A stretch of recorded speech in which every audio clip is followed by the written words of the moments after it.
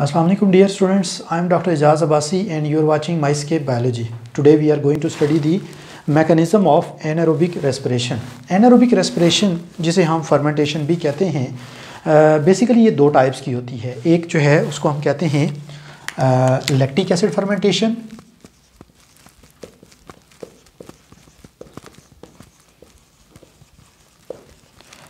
जबकि इसकी जो दूसरी टाइप है, उसको हम कहते हैं अल्कोहलिक फर्मेंटेशन डिपेंडिंग अपॉन कि एंड प्रोडक्ट कौन सी सिंथेसाइज होती है हम फर्मेंटेशन को जो है वो दो टाइप्स में डिवाइड कर लेते हैं। आ, वो टाइप जिसमें एंड प्रोडक्ट जो है वो लैक्टिक एसिड डेवलप होता है, उसको हम लैक्टिक एसिड फर्मेंटेशन कहते हैं।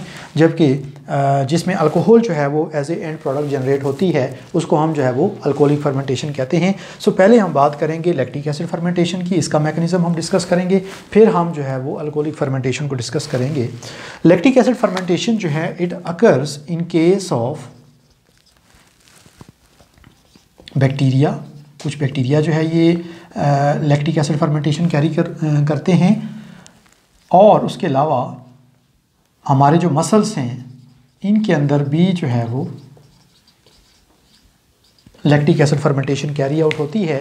जब हम कोई हार्ड एक्सरसाइज करते हैं तो उस प्रोसेस में जब ऑक्सीजन जो है, उसकी जो रिक्वायरमेंट होती है, वो पूरी नहीं होती तो एरोबिक रेस्पिरेशन के साथ साथ anaerobic respiration lactic acid fermentation start हो जाती है। और यही वजह है कि फिर हम जब एक्सरसाइज ख़त्म करते हैं तो हमारे जो मसल्स में पेन होता है, उसको हम जो है वो मसल फटीक कहते हैं। वो लैक्टिक एसिड की वजह से ही होता है और फिर जो है वो कुछ रेस्ट करने के बाद जो है वो आहिस्ता आस्ता वो लैक्टिक एसिड दोबारा डिग्रेड हो जाता है और वो जो मसल फटीक है वो ठीक हो जाती है और पेन जो है वो रिलीव हो जाता है। सो इस तरह से हमारी जो बॉडी है उसके अंदर भी ये lactic acid fermentation muscle cells के अंदर जब होती है। सो लैक्टिक एसिड फर्मेंटेशन जो है, ये बेसिकली दो स्टेप्स में जो है ये प्रोसेस होता है। जो पहला स्टेप है, उसमें ग्लूकोज़ जो कि एक सिक्स कार्बन कंपाउंड है ये कन्वर्ट हो जाता है दो पायरुवेट मॉलिक्यूल्स में। पायरुवेट जो है इसके अंदर तीन कार्बन एटम्स होते हैं।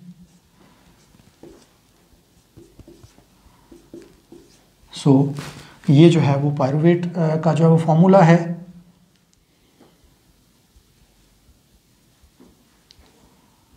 ओ थ्री ये जो है वो पायरुवेट का फार्मूला है और पायरुवेट जो है वो डेवलप हो जाता है जब ग्लूकोज जो है ये ब्रेक होता है। इस प्रोसेस में दो एडीपी जो हैं वो पीआई के साथ कंबाइन होके तो दो एटीपी सिंथेसाइज कर देते हैं। और इसी तरह से यहाँ पे जो एनर्जी फर्दर रिलीज़ होती है, वो दो एनएडी को रिड्यूस कर देती है into two N A D H molecules along with दो टू प्रोटॉन्स सो दो जो है वो प्रोटॉन्स भी यहाँ पे प्रोड्यूस जनरेट होते हैं। सो so, ग्लूकोज जो है वो यहाँ पे ब्रेक हो जाता है दो थ्री कार्बन कंपाउंड्स में which are called as pyruvate molecules और पायरुवेट जो है उसका ये फार्मूला है C three H four O three और आ, ये जो है वो इसकी स्ट्रक्चरल फॉर्म है। सो फ़र्स्ट स्टेप में जो है वो पायरुवेट सेंसाइज हो जाता है जबकि सेकेंड स्टेप जो है उसमें आ, ये जो पायरुवेट है ये फर्दर जो है वो रिड्यूस हो जाता है। सो so, यहाँ पे दो जो पायरुवेट मॉलिक्यूल्स हैं that is C H three C so ये जो दोनों मॉलिक्यूल्स हैं, ये फिर फर्दर रिड्यूस हो जाते हैं into two lactate molecules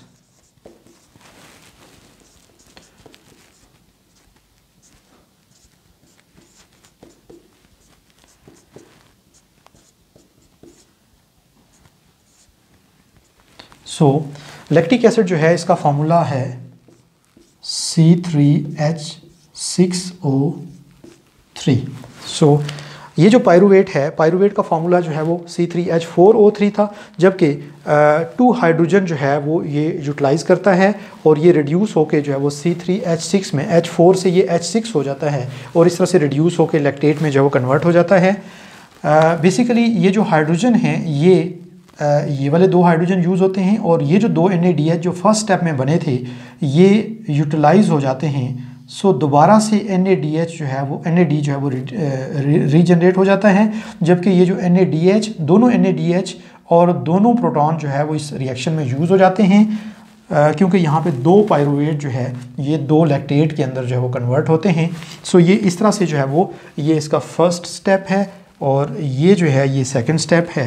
अब अगर हम इसकी ओवरऑल इक्वेशन लिखें तो हमारे पास जो है वो दोनों स्टेप्स के अंदर जो है वो क्या चेंजेस हुई? इसमें जो है वो glucose basically C six H twelve O six जो है, ये एक सिंगल मॉलिक्यूल था। प्लस यहाँ पे दो एनएडी जो है, ये यूज़ हुए।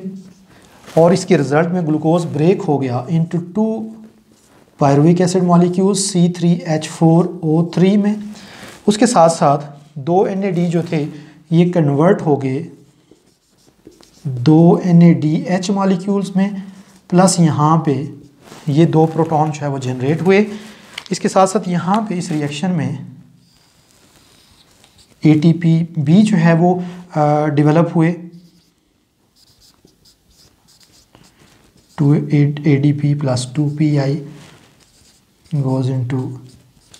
two A T P so ये जो है वो फ़र्स्ट uh, रिएक्शन की जो है वो इक्वेशन है जबकि जो सेकंड रिएक्शन है उसमें यही प्रोडक्ट्स जो है ये फर्दर जो है वो रिएक्टेंट के तौर पे जो है वो दोबारा रिएक्ट करती हैं। So two C three H four O three plus two N A D H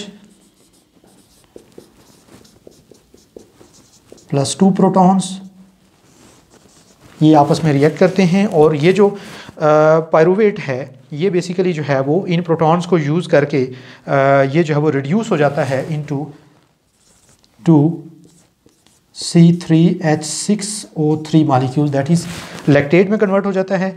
जबकि ये दो जो आ, हमारे पास एन ए डी एच थे ये ऑक्सीडाइज होके दोबारा एन ए डी की फॉर्म जो है वो अटेन कर लेते हैं। सो ये जो है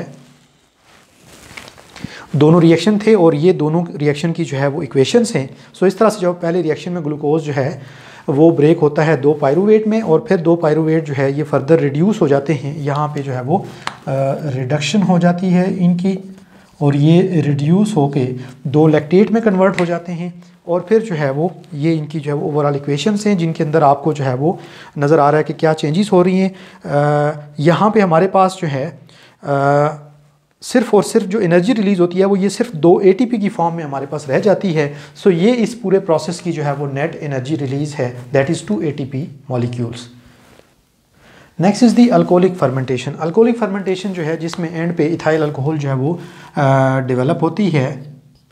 This process occurs in yeast unicellular fungus है यीस्ट जो है, उसके अंदर ये प्रोसेस जो है, वो होता है।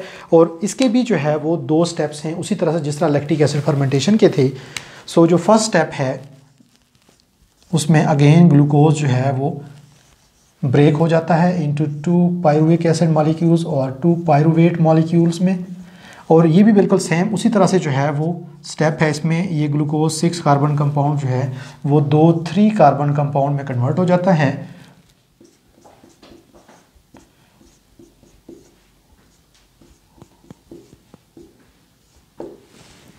सो so, यहाँ पे जो है वो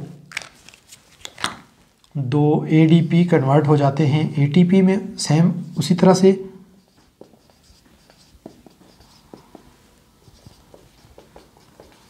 और यहाँ पे अगेन दो एनएडी जो है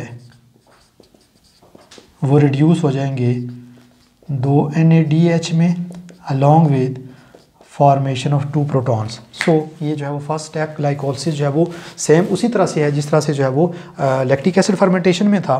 सेकंड स्टेप जो है उसमें ये जो दोनों पायरुविक एसिड मॉलिक्यूल्स हैं, ये फिर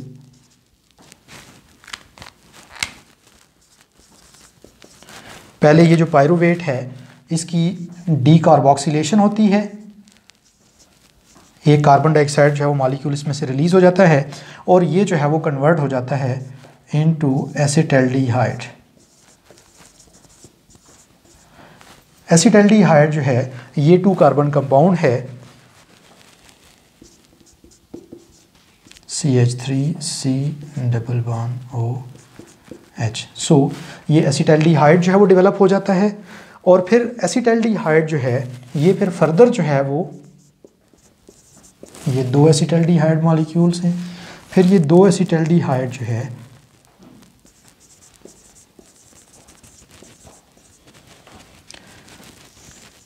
फिर कन्वर्ट हो जाते हैं into two ethyl alcohol molecules so यहाँ पे जो है वो अगेन जो एन ए डी एच यहाँ पर सिंथेसाइज हुए थे, ये एन ए डी एच जो है वो तो यहाँ पे यूटिलाइज हो जाएगा। Two N A D H और दो प्रोटॉन जो थे, ये भी यूटिलाइज हो जाएँगे। सो यहाँ पे एन ए डी जो है वो रह जाएगा और एसिटल्डिहाइड जो है, ये दो इथाइल अल्कोहल मॉलिक्यूल्स में जो है वो कन्वर्ट हो जाएँगी। That is C H three C H two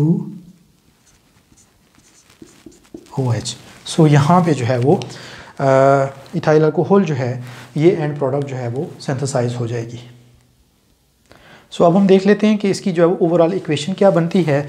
जो फ़र्स्ट स्टेप है, उसमें ग्लूकोज जो है और टू एनएडी जो है, ये रिएक्ट करते हैं आपस में और इसके रिज़ल्ट में दो पायरोविक एसिड दो NADH और दो प्रोटॉन जो है वो प्रोड्यूस होते हैं, जबकि यहाँ पे दो ADP जो है वो ATP में कन्वर्ट होते हैं। उसके बाद सेकंड स्टेप में ये जो पायरुवेट हैं, दो पायरुवेट दो NADH और दो प्रोटॉन जो है ये आपस में रिएक्ट करते हैं and they form two ethyl alcohol molecules two C two H five O H and two carbon dioxide molecules along with two N A D so ये जो एन ए डी एच यहाँ बने थे, ये दोबारा से जो है वो ऑक्सीडाइज हो गए, यहाँ पे यूज़ हो गए और इनकी एनर्जी जो है वो इस पायरुवेट को अल्कोहल में कन्वर्ट करने में जो है वो यूज़ हो गई। सो अल्टीमेटली हमारे पास यहाँ पे जो है वो दो एटीपी जो है वो अगेन नेट एनर्जी जो है वो जनरेट हुए हैं। सो so, ये जो अल्कोहलिक फर्मेंटेशन का प्रोसेस है इसमें भी जो है वो उसी तरह से दो जो है वो A T P molecules net energy जो है वो जनरेट होती है।